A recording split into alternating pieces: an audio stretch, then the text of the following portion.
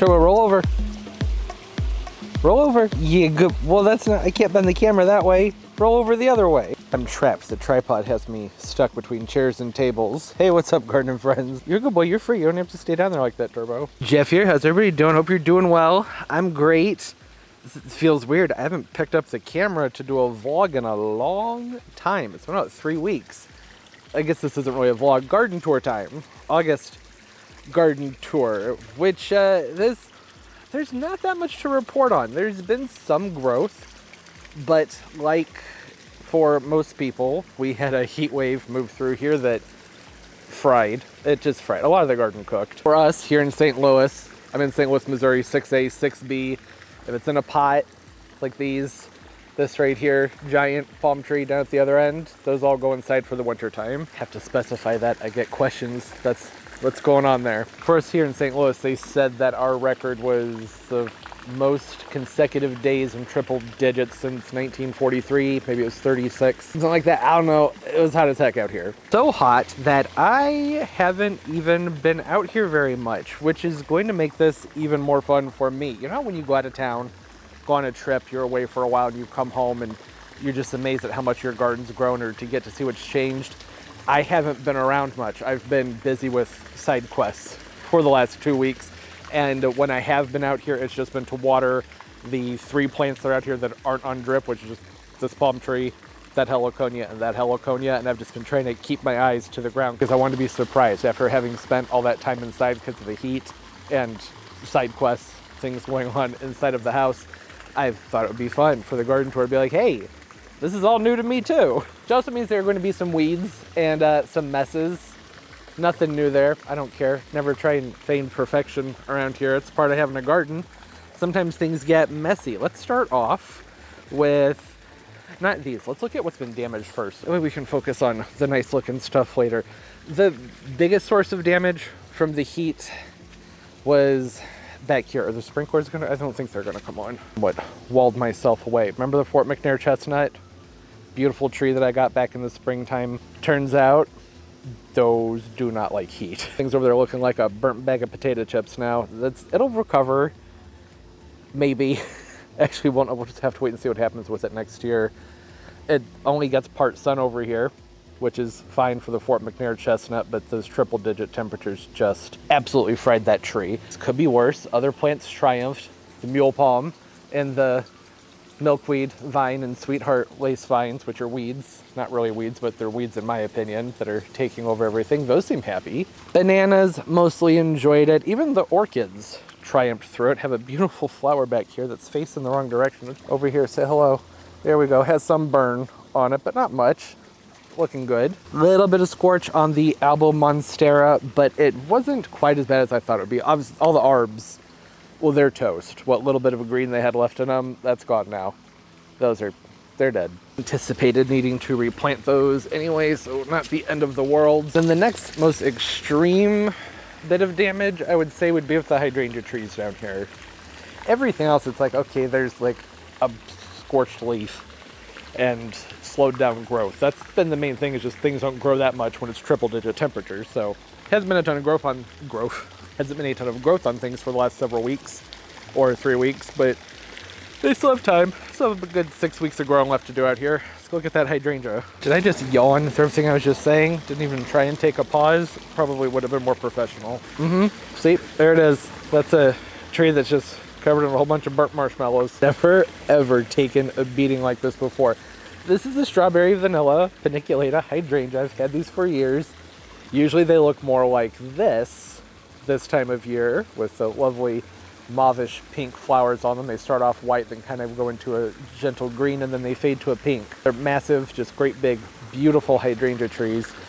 This one gets more sun than that one. Not a lot, but enough to make a difference when it comes to extreme temperatures. These things happen.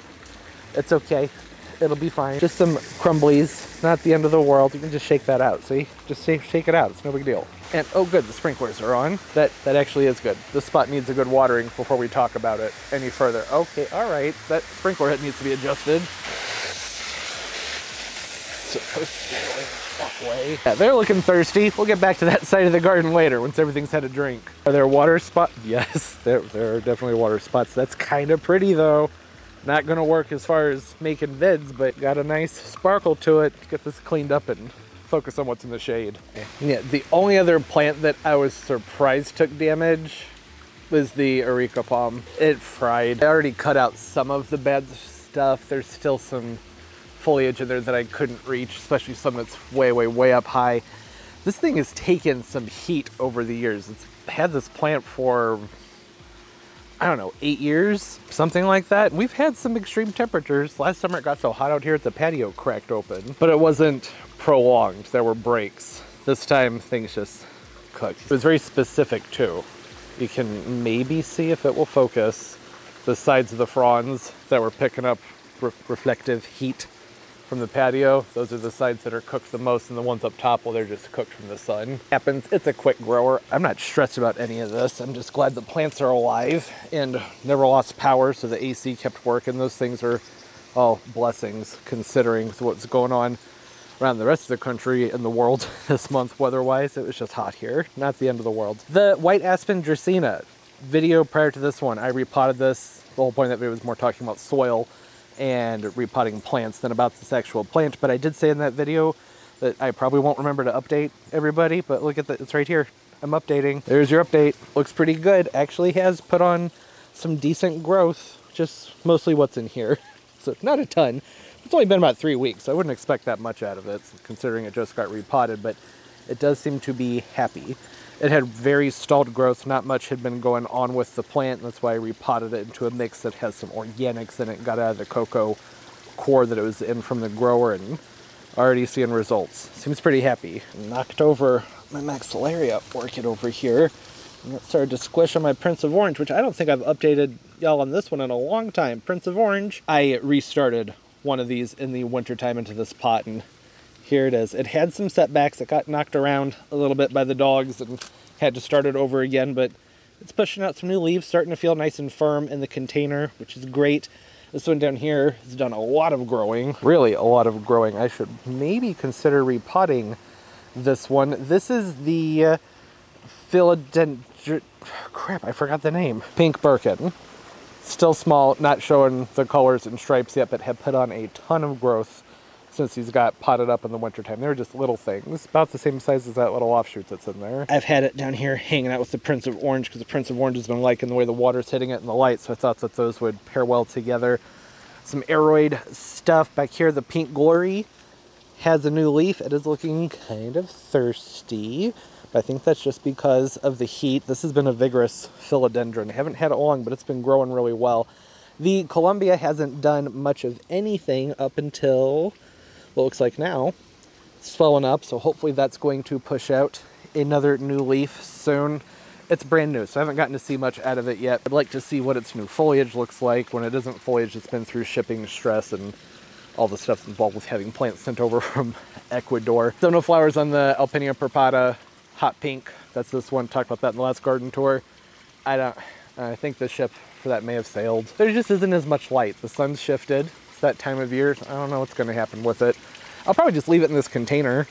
We didn't have to talk about that yet. That's the September garden tour. The last time everybody will be seeing the palm trees. So we can talk about that then. The Cascade Hula Pink, Hula Pink Cascade Begonia. I think it's just Hula Pink Begonia.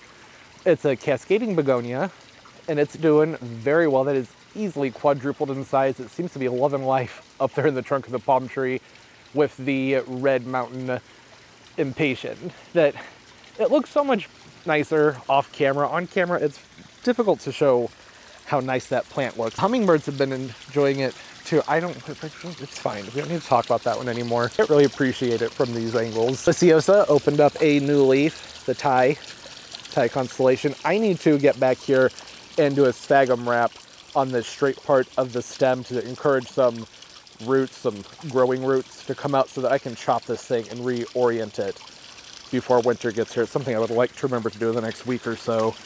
I have a memo put down on my phone, just gotta remember to do it. The Adonidias, Adonidia palms, not Alexander palms, they're looking pretty good.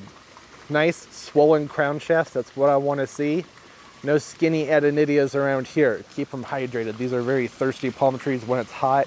You can just water these things like insanity. They will take up all that water and start to get those nice, smooth, round, thick trunks and those nice big green crown shafts. If it's not hot, then that will kill them. So don't do that if it's not hot. They need the warmth. Everything that that pot was, uh, that palm was underplanted with, it's looking pretty good. The tropical storm colocasias, nice color to them. I'm really enjoying this one leaf right here. It has a fun curve to it and a lot of character. I'm loving all the different shades that are in there, various greens, and there's some light pink inside the veining. Drop my exposure down a smidge. Maybe you can see what I'm talking about. Eh, it's not that obvious, but it looks cool. Those are just tiny things when I planted them. And they're looking pretty good. The spring fling caladium is in here, but it's starting to be choked out by the alpinia that's over here. I should maybe maybe move these containers, just scoot them down like four or five inches in each direction might open things up because they really are starting to encroach on the pot in the center here, and I think that that's going to become a problem here. There's only like a month left with these pots though, so maybe I should just leave it and just let them grow and do their thing. I think that would be fine. Nothing to report on with the bamboo. That's not doing anything this time of year, just hanging out, looking like bamboo. I have a whole bunch of things, things, plants set out, out of frame that are gonna be planted up the next week or two, so I'm trying to be careful with my camera shots to not ruin any surprises. Not gonna make so I can't have the widest angle shots, but that's okay them, doing just fine. I moved this one, talked about it to probably too much in a video, talked about it a lot.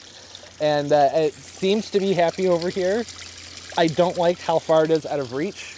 That makes it more difficult to check on it, but with that heat we were having, I needed the aroids to be back into the shade. They get a little bit of morning light, but not very much. The Veitchii, I think would definitely like more light. It's just sitting there. Whereas the Warocqueanum is just sitting there, but it's sitting there nice and sturdy and tall. Whereas the Veitchii, it just doesn't look happy. I could give that one more light. Musa No No, looking pretty good. The leaves started to pink up on this one. There was a lot of white in there. I wasn't sure what was going on, but gave it some time. It turned pink. This has gotten some sturdy growth on it. It was a little loose and wobbly. I had it tucked away back there in the shade because I was paranoid about hurting the plant and overexposing it. And then I decided that I should move it out get it more light where there's more airflow so that it has a nice sturdy stem because it needs to be repotted. That needs to go into a much bigger container at this point. And this is probably a good time to do that. I'll probably work on that this weekend. Not much to say with this Musa Florida right here. It's not the most attractive Musa Florida. Got a little bit of variegation in it, but nothing that's all that impressive. I wouldn't say that this banana is any prettier than like a Zebrina or a lot of other bananas. There are tons of other bananas that are prettier than this. There's a pink Aulin, beautiful one. This is nice, but the variegation is just kind of meh on it. Not crazy about it. Freckles, looking good, of course. The Freckles Croton pulled through that heat like a champ, didn't skip a beat, never even wilted down. Oh, and Freckles isn't on drip either. I was hand watering the four plants. It's just not a demanding Croton, so I didn't want to waste the water pressure putting a drip head on it. You can see it's been doing great. Nice and big, healthy Croton, doesn't require much. Colocasia doesn't need to be transplanted and moved. Curcumas, they're about finished up for the summer. You can see their flowers are fading back. I think I might have one fresh flower in here. Yeah, that one's still looking pretty good. That one looks nice, but it's tucked away so much you can't really appreciate it. And then there's another one down here on a different plant, but again, can't really see it because it's tucked away. These planters, the deck planters, this one specifically, it just not looking too hot. It cooked. I don't know what to say other than it just it got hot and then it fried. It's kind of the theme with things this year. You know, I think it's Turbo. Look at that light. Look at you. You look so handsome in that light, even with your eye boogies. It's important, I think, after extreme weather to sit back, have a good look at the garden, and focus on what persevered, what triumphed through those hard times because those are plants that are ones to keep in mind when it comes to moving forward with projects in the garden. This is, well, these are tropical, so there's not much I can do with them in the garden, but just some interesting things to point out. The parlor palm over here, that was initially over here in this corner, kind of by the McDowell. I forgot to give an update on the McDowell. It was around this corner, and I'll remember to update on the McDowell in a minute. Wasn't getting much light. I prefer the parlor palms just get light, filtered morning light, in shade throughout the rest of the day. They're renowned for being plants that love shade. Talked about these in a video not too long ago that was all about parlor palms And I'm pretty sure I mentioned in that video that I think that they typically are put into too much shade and don't get enough light. I figured during the heat spell, let's just leave it over here and see what happens. And I'm pretty shocked at how well this plant did. There's some scorch.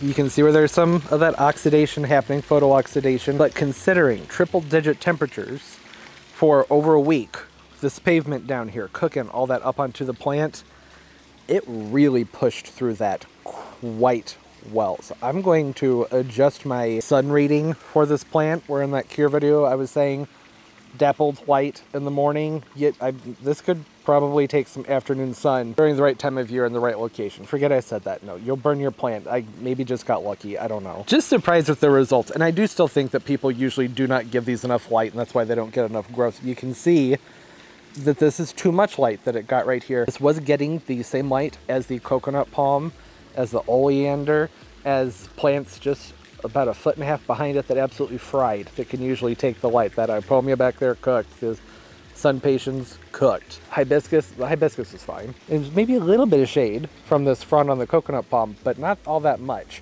Everything else out here is looking pretty good. I just remembered this because it's like that's probably the last plant to talk about as far as damage goes out here. Everything else is just pretty much on pace with where I would expect it to be. As far as these deck planters are concerned, I'm gonna come out here and just give these a severe cutback. I'm probably actually just gonna pull all the annuals out, leave the hibiscus in them. Like this one over here, this is not doing anything for me. Having a sweet potato vine that's overgrowing everything, that's the, I don't, it doesn't appeal to me. I'd rather be able to see the hibiscus and the flowers that are underneath it. So that's going to go. It makes it more difficult to get in there and water everything and take care of things properly and watch out for pests. So that's on my list of things to do now that I'm seeing it because that, just, it doesn't look good. It's wrapping itself around this coconut palm. I'm sure is not appreciating it. The coconut palms haven't done much growing. The spicata is getting ready to open up a new frond, which is exciting. It's pushed through that heat and done fairly well considering. The green Malayan, not much going on with that one. And then the, not a coconut palm, the McDowell, looking pretty good. I repotted this, I don't know, a few weeks ago. It was in a video. It had some really wonky growth on it and it is straightening itself back out, seemingly enjoying its new setup that it has now. I don't think there's anything really left to talk about. You can just stand back and say, hey, look at it. You see it, things are looking pretty good. Oh, rabbit's foot fern, right in there. Completely forgot about it. Did not get watered at all during that heat spell and it's doing great. Another plant to focus on. Nice sturdy ferns. Buccaneer palms. Gossia palms, buccaneer palms, whatever you want to call them. They're backlit. How well can we see them? Hopefully you can see them well enough. Gotten some good growth out of them over the last month. They actually seem to appreciate the heat. Which doesn't surprise me. Everything I've read about these palms says that they are palm trees that like it very, very warm. And uh, that showed. They really started pushing out some new fronds and looking much better. They were on that struggle bus most of the year. They were not delivered looking very good. And I've been fertilizing them. They've been repotted into a fresh mix, but nothing really seemed to be doing much until that heat came through and they were just started singing and loving it. They like the heat. The strings are in here because the fronds were smacking people in the face when you walk through, so I just tied them up to get them up and out of the way. Everything they're underplanted with looks great. The tattoo orange vinca really done a good job spreading which it shouldn't be doing, but the sun has shifted, so now they're laying more flat than I would have expected. Cora Cascade Strawberry, also looking marvelous. I think that these are probably some of my favorite trailers for these pots that I've ever used. Don't they just look beautiful? A solid cascade of those shiny green leaves, the beautiful pink flowers. Vinca, I just, I love the flowers on Vinca, on Catharanthus in general.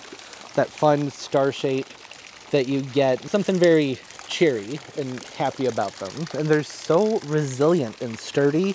Just an excellent plant to have around. I want to make sure to plant more of those next year. Not much to report on with the heliconias. It was hot, so they just kind of hung out and did their thing. I need to come in and prune off a lot of these old flowers. They're starting to uh, wilt back and die back. Not looking too hot right now. Variegated potato, looking pretty good. That's the agave pachatotorum, the one that I cannot say the name of. Lonky, just a fun, variegated, neat looking agave. Got that one in the spring from Plant Delights. It's looking pretty good. Cactus is filling out. also seems happy. Shell gingers. Wasn't sure how they were going to do in the heat. Yes, they're tropical, but they're also surrounded by pavement and they're not on drip.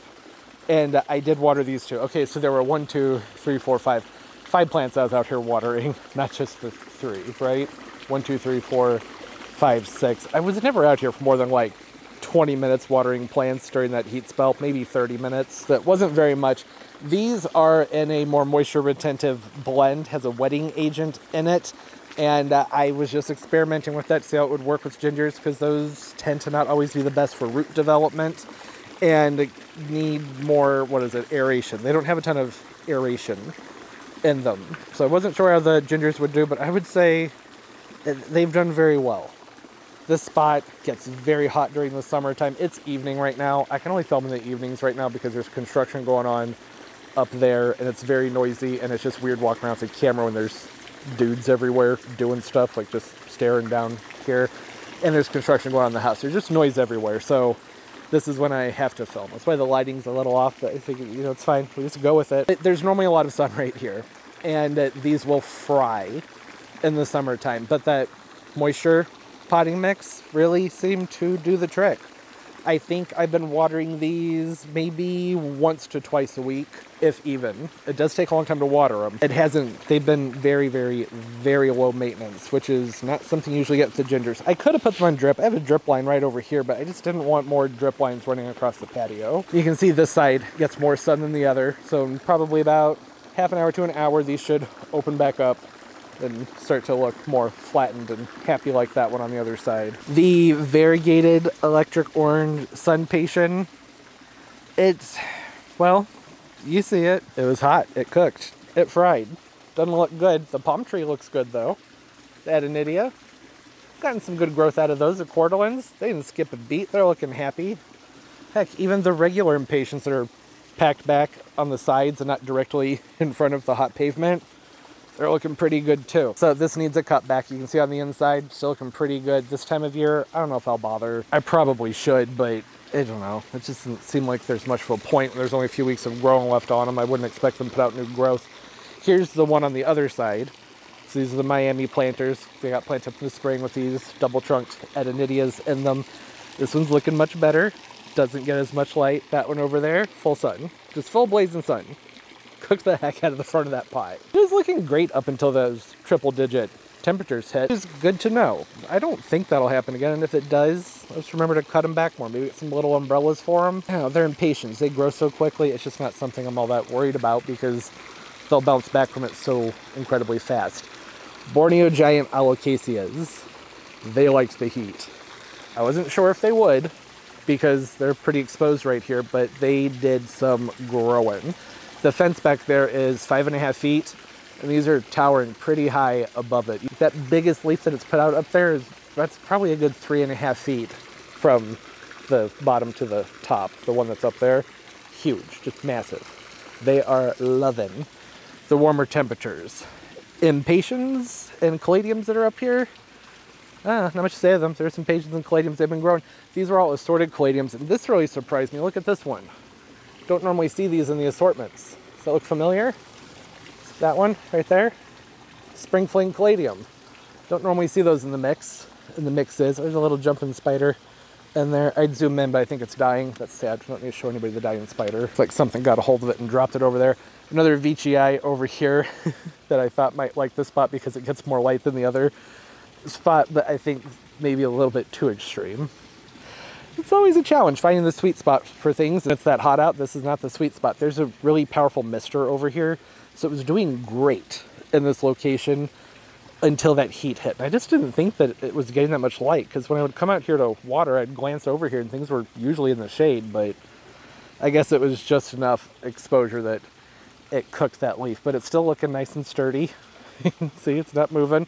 This is a new one that I got from Ecuagenera in a haul last month maybe the beginning of the month of August. I'm not sure. It's doing all right. Bismarckia, looking pretty good. See that there are some weed vines in here I need to do some cleaning up on. That's always a thing this time of year, are the weed vines. Milkweed vine and lace vines, which are beneficial to have around. I'm not going to trash talk them. I just don't like them because they will take over the garden and I battle with them every single year. And I'm seeing right now up in these arbs, see all that white? That's not supposed to be there. I went to town this spring. I would say uh, once a week for probably a solid five to six weeks. I was out here spraying with the dead brew, mostly the back of this berm because that's where a lot of them pop up, and in the garden bed for those weeds that they wouldn't be a big deal this year. And that really did work out. They're nowhere near as bad this year. There's only a few spots where I'm seeing I need to go in and do some serious work. Like over there, I'm gonna have to crawl inside those arbs and figure out where they're coming from and do some cutbacks with those. Things are looking nice over here. I don't come down here all that often because it's just so incredibly awkward right now. It's unfortunate because things are looking great. Manjula pothos hasn't done much growing, but it is certainly starting to do some moving.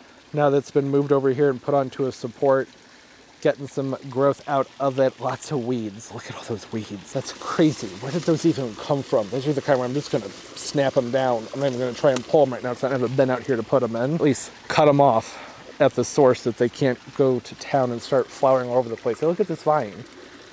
That wasn't there a few weeks ago, and clearly it was there somewhere. It was probably down in there, and I missed it and it crept up through everything else. There are game changer hydrangeas up here on the hill. There's nothing to see with them. They just got planted this year, so there'll be more to report on those probably maybe next year, but right now they're just hanging out. That gate's there to keep the dogs from running through the laurels because they like to run through the spot, and it's worked fairly well. It's not the most attractive thing, but it's the first thing I've found that's making it so that the plants aren't constantly being trampled. The impatiens that are down here are just doing wonderfully. You can see they are starting to lighten up on their flowers. Not as much going on with their blooms as there was before, but that's because the sun exposure has changed. They aren't getting quite as much sun. But even with the amount of light they're getting, still looking really good. And they're also out in an in-between, in a bit of a rest right now. Coming closer, you can see there are lots and lots of buds on them. They're just at a chill out space right now. I'd imagine about a week or so these are going to flush back out and be just full of color, even more full of color, I should say, than they are right now. I love those impatiens. They look so good. They got absolutely huge considering how late they got planted. Remember, if you watch the other garden tours, I had to replant this area multiple times because of having to do, well, various things out here with the laurel hedge. Laurel hedge, there's nothing to report with it. Little bit of damage in there, but not much. That was damage that was already there from transplanting them. Or not transplanting them, just planting them. They did some growing, which I wasn't expecting. And uh, that's all I need to say. The lighting's not good enough to really talk about them right now. There isn't much to say. They're growing. They did fine with the heat. Still nice and green. So that's all good news. I don't, do I need to talk about it? They're just beautiful. Kind of scraggly because it was hot, but looking pretty good. Purple candy impatiens mixed in with the electric orange Sun-Patiens underneath the strawberry vanilla hydrangea, tropical storm, colocasia. I love how when these get to a certain size, like I showed with that other one, they get a fun curve to the leaf. And I haven't noticed that in the pictures I've been seeing, so maybe I just got a weird funky bunch. Here's a better look at a nice healthy, healthy-ish. This one does have some heat damage on it, but not much. Much larger, more beautiful strawberry vanilla hydrangea tree. Absolutely massive. This looked so good this year.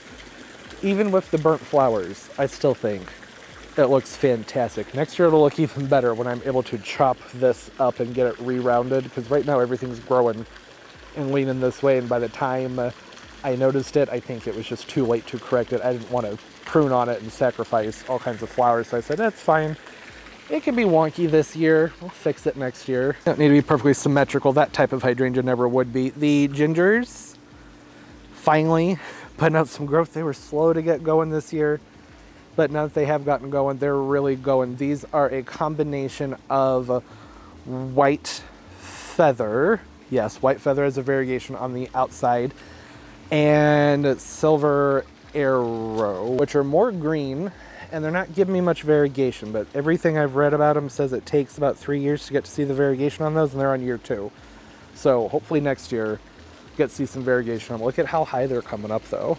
They've done a good amount of spreading. Would like to see more over here in the middle, but I can always chop and move and put new ones in there to plug in the gaps. It just it looks nice.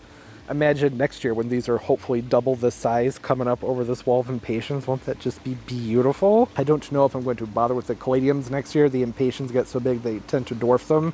Maybe I will. They have a nice touch to them. This is a beautiful caladium, by the way a fun lance shape. The long lacy type leaves, not ones you usually get in the assorted bags. That's what I always buy. I just buy assorted bags of caladiums from Sam's Club in the springtime. That's a fun one. Don't normally see that. It's nice to see it. To see some variety. Smooch begonia, perennial begonia.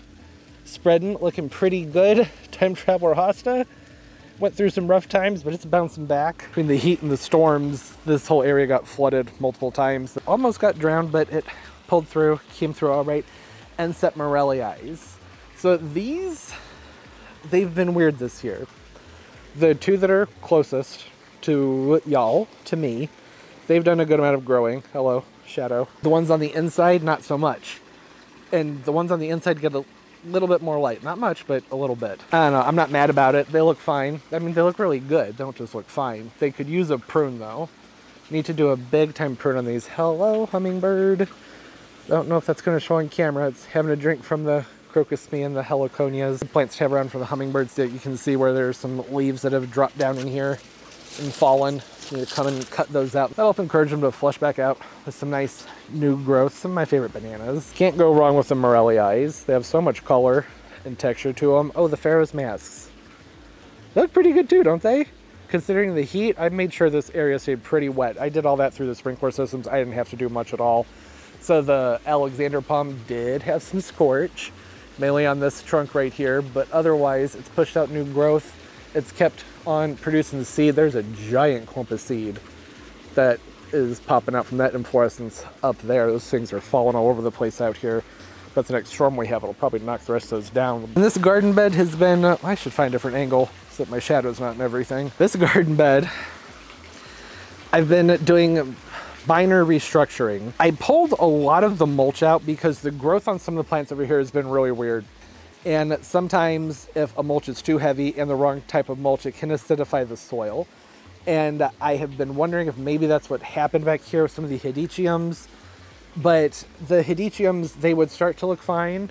And then we'd have a bad heat spell and they would start to look bad again. So to me, that means that it's probably more of a, they were just cooking over here up against this wall more than anything else. I just, yeah. Regardless, I need to get the mulch out because I've been uh, trying to check the angle of the slopes in here for the drainage because I would like to do something more fun and exotic in this spot next year. And in order to do that, I'm having to get a precise measurement of the direction of flow for water.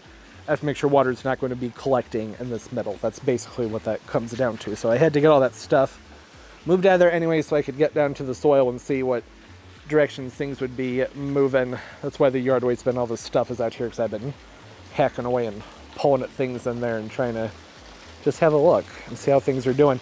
I need to come back in here and do another cleanup on the Bikini-tinis because they're starting to hide the sun impatiens again. I have to do that every few weeks, but it was just so hot out here I didn't bother with it, and I figured they're just going to add shade, which they could really use when it's that hot, so I left them. And they look nice.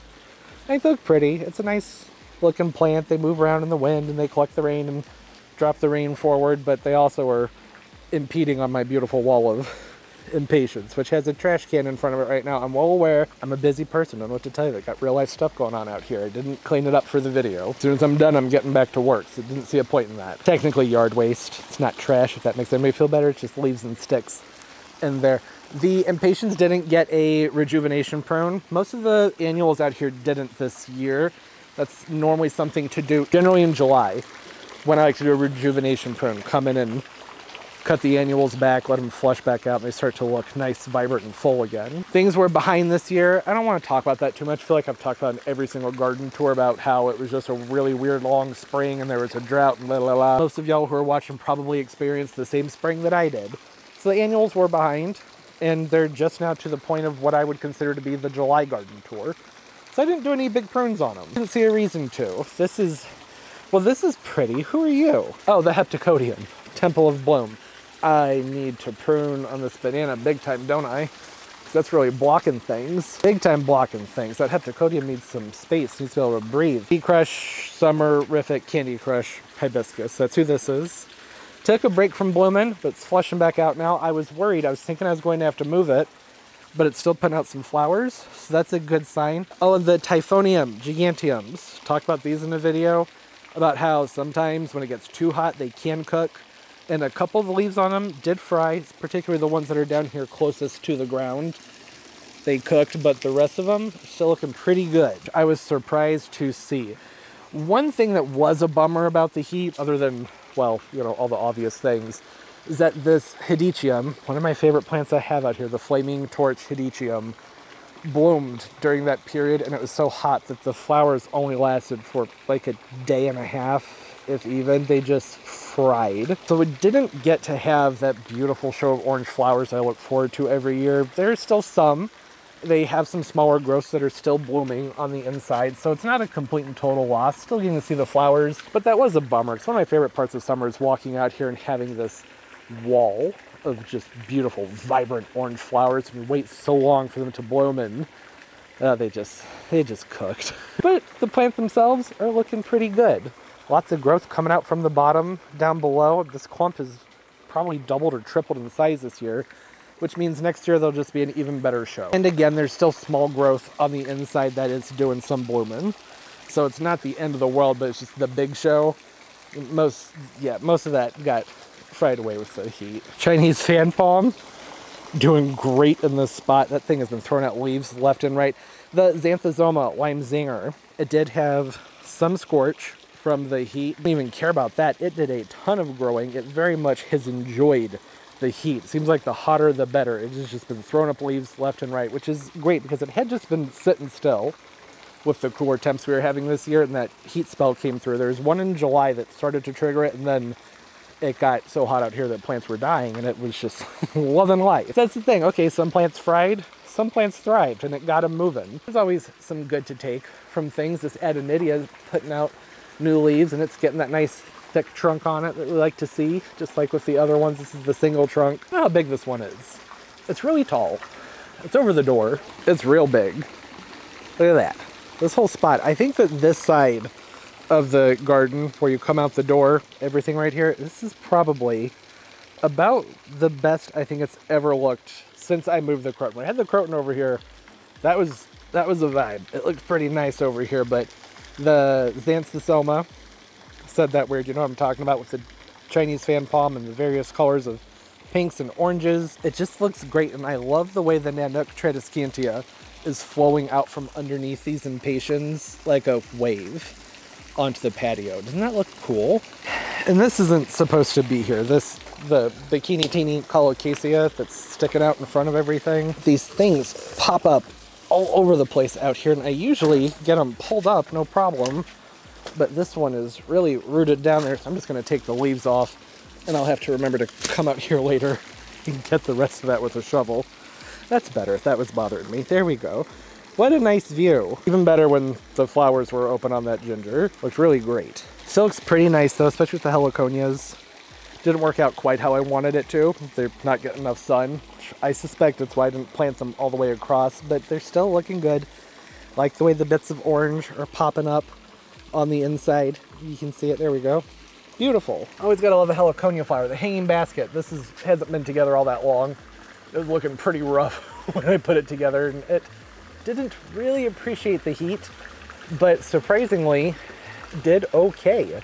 I was expecting the Elysium, Elysium, the Alyssum lobularia in there to just fall apart, but it didn't. Having things on drip really makes a big difference. They're looking pretty good. Love the trunks on Adonidias, especially when they're the really big, thick white ones. See those this far north that often, but it looks good. Variegated hibiscus, this got moved over here, and it's looking pretty good seems to like this spot. This Musa Florida is not getting very much light. I might need to move it because when this one's been getting light, it has had some pretty nice variegation on it. Not like some of the most supreme variegation, but it's looked pretty good. I think I probably just need to move it. This is that time of year where when the sun shifts, I have to rearrange some things outdoors. But otherwise, it's still a nice, healthy looking plant. Look at those red candy Sun-Patiens down there. I love those. Beautiful, beautiful sun patient. Beautiful plant. Love the red flowers. Robellini's looking pretty good. Didn't fry, but it got some cookage on it with the heat. Not a ton though. the croton, starting to see some white spots in there. Got to start treating for mealybugs when the sun shifts. These aren't in the light anymore. The mealybugs move in so incredibly quickly. You gotta stay on top of that before it's time to move the plants inside. The queen palms that are over here, I was expecting these to have some burn on them since they're up against the house, and there really isn't, at least not very much. In fact, this one right here started to open up a new frond. I did triple the watering on both of these during the heat spell because they really needed it and that made a big difference. They started to push out growth, which means it's possible I may have been underwatering them this entire summer. I don't know. They were getting a lot of water, so that's hard to imagine. They're trees. Trees need a lot of water, but I don't, I don't know. Seems unlikely that it wasn't enough. Have some mandevillas over here that are starting to do their thing. The heat worked in their favor. They were just sitting still. They're starting to move. I would like them to be bigger than this by this time of year, but I just potted those up like two weeks ago. Maybe I'm being impatient there. The only thing left to report are the bananas. This banana lost its head last month to a storm, knocked the palm trees down and had to cut it back and it's flushed back out and it's looking great. No surprise there. It's what we would expect out of the banana. Everything else that I didn't talk about, I can't remember to talk about everything, but that's anything that needed a report or I just thought was worth reporting on. Things are looking pretty good considering the temperatures and how weird things have been with the drought and the cool. You know, triple digit temperatures just a few days ago and today I'm outside in a hoodie this morning because it was like 68 degrees, supposed to be in the 50s in the next few days as a low. That's just what's happening. Uh, I'm trying to make the most of things, enjoy the few weeks of nice weather that we have left with the tropicals outside. There's still lots of nice weather left, but with the plants outside, at least the big palm trees, not a ton. We have about six to seven weeks until those are going off to storage into the greenhouse. So trying to make the most of it. I meant to put that away in the hose way before filming this. I totally forgot. Obviously, it's right there. We'll talk about that, the pot that doesn't want to focus in the next video. Doesn't matter. Video after this one, talk about pottery. There's some other fun things going on. Lots of things to plant that I've been hiding and like in the shadows tucked away in this video. Still lots of stuff and projects left to go in the garden. It's finally that time of year where things are cool enough. I'm not worried about putting things in the ground and them cooking. Feels good to be able to get a move on all those things once again. Comment down below, say hi.